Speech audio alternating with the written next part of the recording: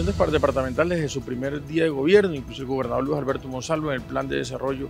departamental lo, hacemos mejor, dejó plasmadas unas estrategias encaminadas a mejorar la calidad educativa en el departamento del Cesar, pero también la infraestructura educativa. En ese orden de ideas y atendiendo estas estrategias, se han gestionado más de 5.300 computadores para el departamento del Cesar y hoy se hace entrega oficial de 760 computadores en siete municipios, los cuales van encaminados a mejorar las herramientas técnicas y tecnológicas que permitan también garantizar ese aprendizaje y la transferencia de ese aprendizaje profesor-alumno. En ese orden de ideas seguiremos gestionando más computadores, se vienen nuevos, los nuevos 3.500 computadores para el municipio de Aguachica, logrando una cifra de 4.000 con lo cual logramos que aquí exista un computador por cada cuatro estudiantes, que es la cifra promedio, pues, promedio nacional válida. Adicionalmente, el gobernador Luis Alberto Monsalvo venía trabajando en la, construcción de, las nuevas aulas de, la UPC por un valor de 22 mil millones de pesos y se encuentra en camino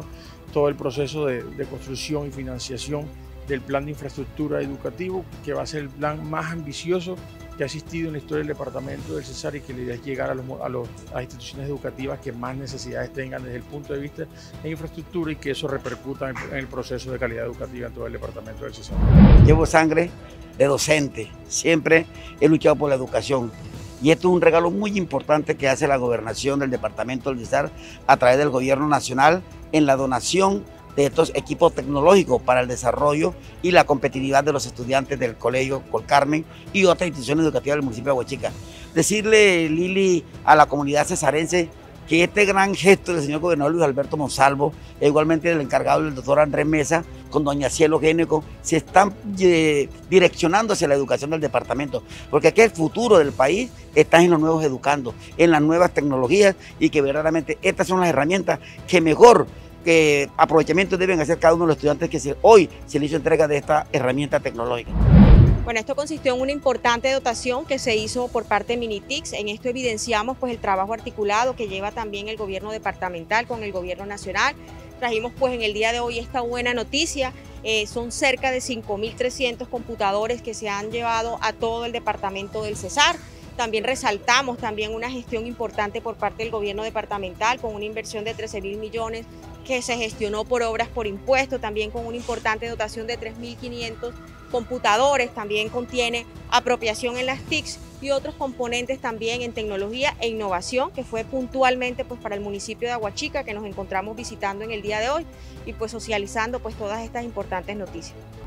Hoy agradecido agradecido con el departamento, agradecido con la gestión que está haciendo la doctora Pamela. Está, están tratando de llegar a todas las instituciones con herramientas tecnológicas que son fundamentales para el mejoramiento de la calidad de la educación de nuestro municipio, de nuestro departamento y del país. Eh, ahorita nos están invitando también a una reunión con Telefónica, con Telefónica para capacitar a estudiantes de décimo, de once y a los padres de familia y a los tutores, cosa que va a ser de gran ayuda para el mejoramiento continuo que tenemos en este proceso educativo. Pero también, o sea, felicitar esa parte, pero también hay otras cositas que necesitamos en cuanto al mejoramiento de infraestructura, en cuanto a la dotación y mejoramiento de, de todo lo que tiene que ver con el agua, de todo lo que tenga que ver con la elaboración de pozos, de todo lo que tenga que ver con la infraestructura, con los techos y eso que están tan afectados, porque usted sabe que mm, casi dos años de las instituciones educativas abandonadas